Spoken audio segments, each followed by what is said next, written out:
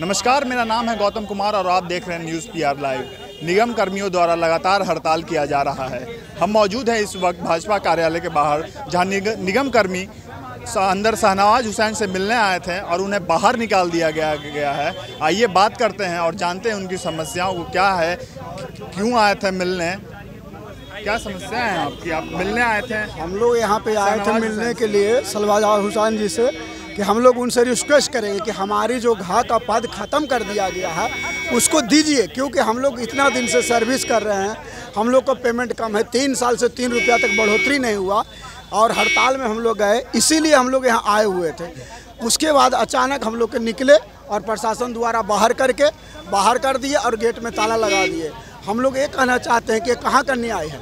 ये कहाँ का न्याय है कि मांग क्या है? हम लोग के मांग है परमानेंट हम लोग का परमानेंट नियुक्ति होना चाहिए स्थायी कर्मी, क्योंकि हम लोग को कहा गया था कि जो भी दस बरस होने के बाद उसको नियुक्ति हुआ था। आगे बार हुआ भी दस बरस जिसका नौकरी हुआ। पहले भी आप लोगों ने धरना प्रदर्शन किया था हड़ताल किया था? हड़ताल किए थे लेकिन हर बार क्या? कर देंगे कर देंगे टहरावा देते गए। कभी कोर्ट का बहाना लेके कभी किसी का बहाना लेके कभी किसी को बहाना। अगले बार शीला मैडम सीता साहू सब लोग बोले थे कि आप लोग के मिलेगा लेकिन फिर नहीं मिला। मेयर द्वारा कुछ आश्वासन दिया जा रहा है? अभी तो कुछ नहीं दिया जा रहा। अभी तो सिर्फ़ हम लोग हड़ताल पर चल रहे हैं कोई आश्वासन ही नहीं है। हम लोग एक ही मांग है नियुक्ति। यानी परमानेंट करना। अगर नियुक्ति नहीं करेंगे तो हम लोग हड़ताल नहीं तोड़ेंगे। अनिश्चितकालीन अनिश्चितकालीन हड़ताल है चाहे इसके लिए जो हो जाए। पूरे जो बिहार में ये पूरा बिहार में है। हम लोग सुबह उठ करके पाँच बजे से लेकर के रात के दस बजे तक जनता को पानी पिलाते हैं। लोग हमारे भाई नगर निगम का सुबह से लेकर के शाम तक के झाड़ू मार के सफ़ाई करता है। जल है तो जीवन है। जल ही नहीं है तो जीवन कहाँ है? हम लोग इतना ड्यूटी करके इतना मेहनत करके जनता को पानी पी देते हैं। अगले लोग हमारा निगम का सफ़ाई करवाता है। लेकिन उसके बदले हम लोग को क्या मिलता है? नौ हज़ार रुपया। शाहनवाज हुसैन से हज़ार मिलने दिया गया। मिलता हम नहीं मिलने नहीं दिया गया। हम लोग तो क्या बोलकर बाहर निकाल दिया गया? कि बाहर जाओ यहाँ से यहाँ से बाहर जाओ बाहर निकलो यहाँ से बाहर जाओ चार सौ धारा के केस लगा देंगे। प्रशासन बुला देंगे। हाँ, पुलिस क्या बुला देंगे। बोला गया अंदर में बाहर जाओ नहीं तो पुलिस बोला के तुम लोग को मार खिलावेंगे कि भागिए नहीं तो 420 लाद देंगे।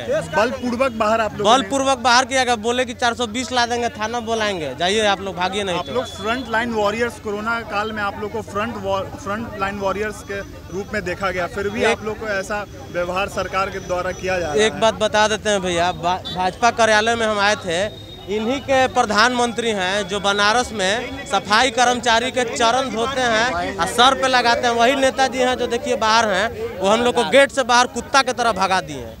हम लोग आए थे यहाँ ज्ञापन सौंपने मिठाई खिलाने सम्मानित करने आए थे। ना ही हम लोग कुछ इनके खिलाफ धरना प्रदर्शन फिर भी आप लोगों को बाहर निकाल दिया फिर भी हम लोग को बाहर कर दिया गया है। हम लोग अपना हक मांगने आए हम लोग का पेट भूखा है।